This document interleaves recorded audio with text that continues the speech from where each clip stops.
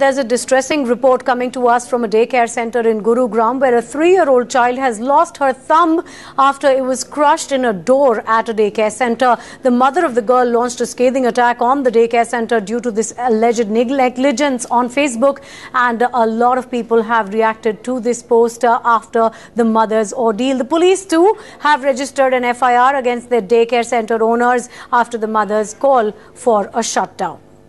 नहीं, पर मैं मानती हूँ कि मैं जॉब करती हूँ तो थोड़ा हो जाता है कि वर्किंग मदर्स हैं लाखों मदर्स को हम गुड़गांव में देखते हैं, हर जगह देखते हैं। नेग्लिजेंस ये है कि एक तो उन स्कूल ओनर्स ने खुद कमिट किया हमारे पास आके हॉस्पिटल में कि उनके डोर स्टॉपर्स नहीं हैं। वो बहुत बेसिक चीज़ है। अगर हम घर में भी देखें रेंटेड घर में रहते हैं डोर स्टॉपर तो यहाँ पर भी लगे हुए कितनी कॉस्ट होती है इसकी?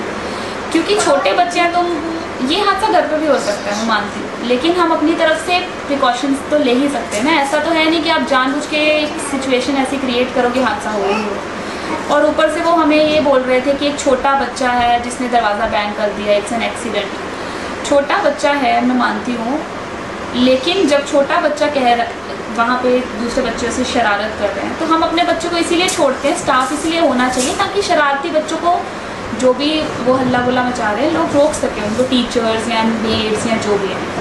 अगर बच्चे अपने आप ही सब कुछ करेंगे तो फिर डे केयर है। क्या हुआ? तो ये सिर्फ़ इसको डे सेंटर नहीं बोल दो ना फिर, या फिर बोल दो प्ले ग्राउंड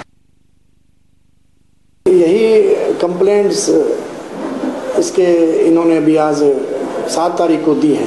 पुलिस स्टेशन में उसके ऊपर मुकदमा दर्ज कर लिया गया है, उसके संचालकों के खिलाफ और तफ्तीश चल रही है। ये अभी सभी तफ्तीश के दौरान आएगा। इस बात में कि बच्चे का अंगूठा, उस बच्ची का तीन वर्षीय बच्ची है, वो उसका अंगूठा पहले जो ऊपर से पैरवा है, ऊपर वाला, वो कट गया है और केस रजिस्टर कर लिया है। कौन ऑनर है, कौन संचालक है, क्या सर्टिफिकेट है या नहीं, किस कैपेसिटी में ये रख रहे हैं, इसकी तफ्तीश अभी चलेगी तो उसी हिसाब से ये तय होगा।